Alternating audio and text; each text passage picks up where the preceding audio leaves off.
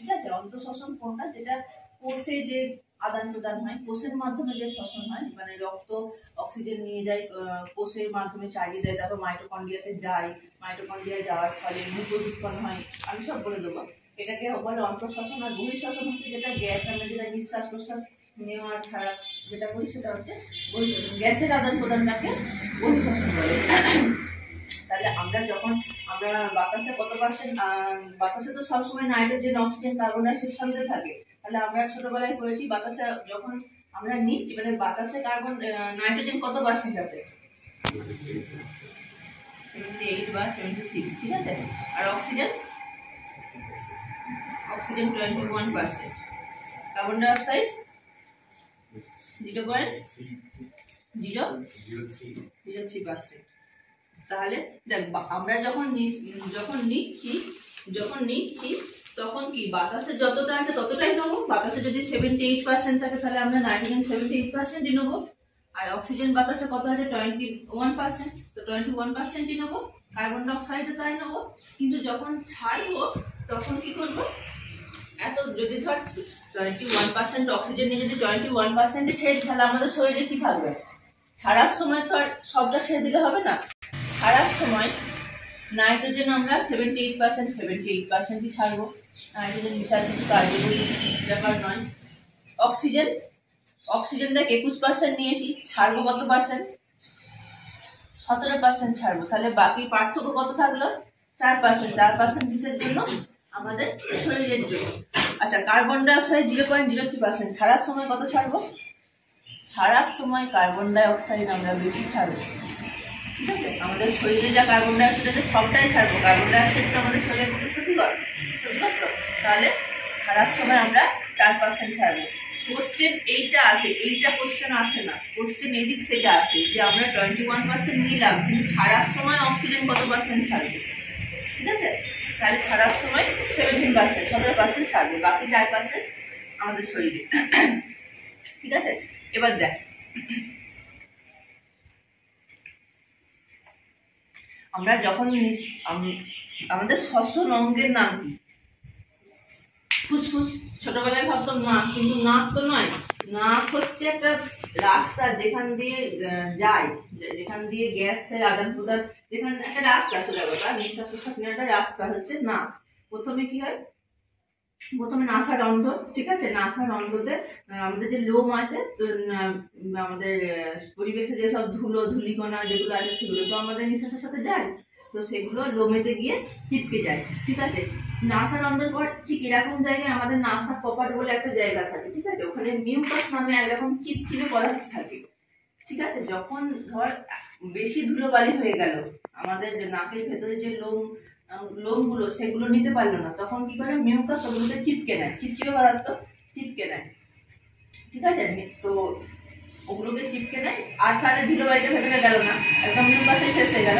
এবার গ্যাসটা যাচ্ছে তো আমাদের গলা আহ, মুখ গহ্বর গলার মাঝখানে ফ্যারিংস বলে একটা জায়গা থাকে। ওখানে যাই। ফ্যারিংসের পর আমাদের গলাতে লেরিংস বলে একটা জায়গা থাকে। লেরিংস হচ্ছে আমাদের কি বলব? ওটাকে কি বলে?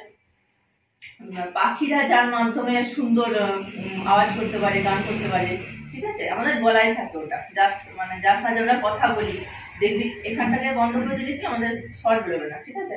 তাহলে এটা হচ্ছে রাস্তা। প্রথমে নাসা রন্ধ্র নাসা কপাট তারপরে ফ্যারিংস তারপরে লাইরিংস ঠিক আছে? তারপরে যাবে ট্রাকিয়া। ট্রাকিয়া মানে হচ্ছে শ্বাসনালী। দিয়ে যায়, ঠিক আছে? তারপরে কোথায় যায়? নাসা কপাটে যায়। নাসা কপাটের পরে ফ্যারিংস ফ্যারিংস হচ্ছে আমাদের মুখ আর গলা মানে গলাতে ঢোকার আগে একটা জায়গা থাকে, ওটাকে বলা হচ্ছে ফ্যারিংস তারপরে একটা ল্যারিংস ল্যারিংস হচ্ছে যার মাধ্যমে আমরা কথা বলি, ঠিক আছে? তারপরে হচ্ছে ট্র্যাকিয়া ট্র্যাকিয়া মানে হচ্ছে শ্বাসনালী দেখ এইখানটা ট্র্যাকিয়া এখানে হয়ে গেল, এখানে চলে এলো, তারপর এটা এটা হচ্ছে ট্র্যাকিয়া এখানে শ্বাসনালী গ্যাস কোথায় আছে? এইখানে আছে। ট্র্যাকিয়ার পর ও- আসে হচ্ছে, এখান দিয়ে এলো। ট্র্যাকিয়ার পর পর আসে হচ্ছে, দেখ, আমি লিখেছি ব্রঙ্কাই ব্রঙ্কাই কোনটা? ট্র্যাকিয়া যখনই এখা- এখানে এলো তার দুদিকে ভাগ হয়ে গেল, ঠিক আছে? এই যে দুটো ভাগ, এই দুটো ভাগকেই ব্রঙ্কাই বলছি আমরা, এই দেখ, এই দুটো ভাগকে, এটাকে কি বলছি? ব্রঙ্কাই। ব্রঙ্কাইয়ের আমরা কোথায় লিখেছি? ব্রঙ্কিওলাস। এই দুটো ভাগ যখনই হয়ে গেল, এই দুটো ভাগ থেকে তার বিভিন্ন আবার ভাগ বেরিয়েছে। বিভিন্ন রকম বিভিন্ন, দেখ, সোজা সোজা বেরিয়েছে। এইগুলোকে আমরা কি বলছি? ব্রঙ্কিওলাস। ব্রঙ্কিওলাসের পর কোথায় যাচ্ছে? অ্যালভিওলাই। এই দেখ, এইগুলোকে বলা হচ্ছে অ্যালভিওলাই। অ্যালভিওলাই হচ্ছে বায়ু থেকে মেন বায়ু আসে কিন্তু অ্যালভিওলাই এই সব কিছুর মাধ্যমে অ্যালভিওলাইটাই আসে। অ্যালভিওলাই এবার এখান থেকে কি করে? হিমোগ্লোবিনকে বলে, তুমি সারা শরীরে কি করে? হিমোগ্লোবিনের কাজ কি? সারা শরীরে অক্সিজেন আদান প্রদান করা। অ্যালভিওলাই তখন হিমোগ্লোবিনকে বলে, তুমি আমার কাছ থেকে অক্সিজেন নাও, যে সারা শরীরে অক্সিজেন চালিয়ে দিয়ে আসো। আবার কি করো? সারা শরীরে যেখানে কার্বন ডাইঅক্সাইড আছে, আবার আমার কাছে নিয়ে আসো, আবার এখানে নিয়ে আসো, ঠিক আছে? আবার এ কি করে? ডাক্তার মেরে কার্বন ডাই অক্সাইডকে আমাদের শরীর থেকে বার করে দেয়, ঠিক আছে? তাহলে অ্যালভিওলাইতে এলো। অ্যালভিওলাই পরে যাবে রক্ত। রক্ত পুরো শরীরে নিয়ে গেল। প্রত্যেক কোষে কোষে নিয়ে যাবে তো রক্ত অক্সিজেন তো রক্ত কোথায় নিয়ে গেল? কোষে। অ্যাকচুয়ালি মাইটোকন্ড্রিয়াতে মাইটোকন্ড্রিয়াতে নিয়ে যায়। তাহলে শ্বসন আমাদের কোথায় হয়? কোষের তোকে কোশ্চেন করবে। কোষের কোন অঙ্গাণুতে আমাদের শ্বসন ক্রিয়া সম্পন্ন হয়? কোষের মাইটোকন্ড্রিয়াতে সম্পন্ন হয়। তারপরে এখানে মাইটোকন্ড্রিয়াতে গিয়ে ক্রেবস চক্র হয়। ক্রেবস চক্র ফলে গ্লুকোজ উৎপন্ন হয়, ঠিক আছে? তখন ওই গ্লুকোজ উৎপন্ন হয় কার্বন ডাইঅক্সাইড উৎপন্ন হয়। ও এখান থেকে কার্বন ডাইঅক্সাইড নিয়ে আবার আবার হিমোগ্লোবিন কি করে? আবার এখানে নিয়ে চলে আসে অ্যালভিওলাইতে ঠিক আছে? অ্যালভিওলাইতে নিয়ে আসার পর কার্বন ডাইঅক্সাইড ও বার করে দেয়। বুঝতে পারলি ব্যাপারটা? তাহলে কোথায় হলো? প্রথমে নাসা রন্ধ্র তারপর নাসা কপাট। যে চিপচিপে পদার্থ থাকে, ওরা কি করে? ধুলোবাড়িটাকে আটকে নেয়। ওটাই নাকের মধ্যে যে জিনিসগুলো আমাদের থাকে, ওইটাই ওইটাকেই মিউকাস বলে, ঠিক আছে? নাসা রন্ধ্রের পর নাসা কপাট হলো। নাসা কপাটের পর কোথায় যাবে? ফ্যারিংস। ফ্যারিংসের পর ল্যারিংস ল্যারিংসের পর কোথায় যাবে? ট্রাকিয়া। ট্রাকিয়ার পর ব্রঙ্কাই ব্রঙ্কাইয়ের পর ব্রঙ্কিওলাস তারপরে কোথায় যাবে? অ্যালভিওলাই অ্যালভিওলাই কাকে দেবে? রক্তকে, রক্ত হিমোগ্লোবিনকে। রক্তই দিল, রক্ত অক্সিজেন নিল। রক্ত কোথায় পাঠাবে? প্রত্যেক কোষে মাইটোকন্ড্রিয়াতে মাইটোকন্ড্রিয়াতে পাঠাবে, ওখান থেকে কার্বন ডাইঅক্সাইড নেবে, সারা শরীর থেকে কার্বন ডাইঅক্সাইড নেবে। আবার এখানে আনবে আবার ওটাকে বাইরে ছেড়ে দেবে। শ্বসন নেওয়ার ক্ষেত্রে সব থেকে বেশি কাজ করে হচ্ছে ডায়াফ্রাম এই দেখ, এইখানে যে জিনিসটা, এটাকে বলে ডায়াফ্রাম ও কিছু করবে না সে। ডায়াফ্রাম ঠিক আছে? আমাদের ফুসফুসের এতটাও ক্ষমতা নেই যে পুরো পুষ করার মতো, ঠিক আছে? পুরো নিঃশ্বাস পুষ করার মতো অতটা ক্ষমতা নেই। পুষ করার কাজ কে করে? এই ডায়াফ্রাম করে। ঠিক আছে? এ নিচে থেকে ফুসফুসকে ধাক্কা দেয়। তাই জন্য পাম্প হয় ফুসফুসটা, ঠিক আছে? অনেকের দেখবি অ্যাক্সিডেন্ট ফ্যাক্সিডেন্ট হয়, কাটা কোটা কিছু হয়নি কেটে যায়নি, ভেঙে যায়নি, দেখবি মরে যায়। কেন মরে যায় বলতো? এই ডায়াফ্রামটা ভেঙে যায় বলে। মাংস বেশি, এটা তো মাংস বেশি। চাপ পড়লেই তো ভেঙে যাবে। আর একটা জিনিস হয়, গর্ভবতী যারা হয়, যাদের প্রেগনেন্ট ওদের ওদের কি হয়? ওদের তো পেট এমনিই বড় হয়। ওদের পেট এমনিই বড় হয়। তো ডায়াফ্রাম আর ফুসফুস পুরো পেটটা এতটাই বড় হয় এরকম চেপে যায় তখন ডায়াফ্রাম পাম্প করার কাজ করতে পারে না, ঠিক আছে? পাম্প করার কাজ করতে পারে না। গর্ভবতী মহিলাদের ডায়াফ্রামের কাজ করে আমাদের হচ্ছে পাঁজরের হাড়। তখন ওদের পাঁজরের হাড়টা ফুসফুসটাকে পাম্প করতে সাহায্য করে, ঠিক আছে? দেখি ওরা একটুতেই হাঁপিয়ে যায়। যারা প্রেগনেন্ট থাকে তারা একটুতেই হাঁপিয়ে যায়, ঠিক আছে? তাহলে এই জিনিসটাকে এটাকে ডায়াফ্রাম এটাকে পাম্প করার কাজ কি করে? ডায়াফ্রাম করে। শ্বসন জিনিসটা কি বুঝতে পারলি তো? এটা পড়াশোনা বলতে পারবি? তাহলে অ্যালভিওলাই কাজ কি বলতো এখান থেকে? বায়ু, ওটা হচ্ছে বায়ু থলি গ্যাস এসে এইখানেতেই আসে, ঠিক আছে? এখানে গ্যাস এসে এইখানেতেই থাকবে। এবার এখান থেকে তোর রক্তের মাধ্যমে সারা শরীরে পাঠিয়ে দেয় অক্সিজেন আর একটা ব্যাপার আছে, আমাদের যে হিমোগ্লোবিন আছে হিমোগ্লোবিন অক্সিজেন বড় কাজ তো হিমোগ্লোবিন করে।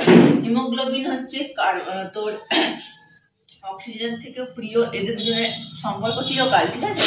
এদের দুজনের সম্পর্ক চিরকাল। কিন্তু এর থেকে এর যখনই প্রিয় কার্বন মনোক্সাইড পায়, তখনই অক্সিজেনকে ভুলে যায়।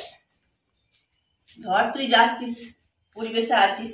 এক জায়গাতে যদি অক্সিজেনও থাকে, কার্বন মনোক্সাইডও থাকে, তাহলে হিমোগ্লোবিন, অক্সিজেনকে ছেড়ে আগে কার্বন মনোক্সাইডকেই তুলবে। ঠিক আছে?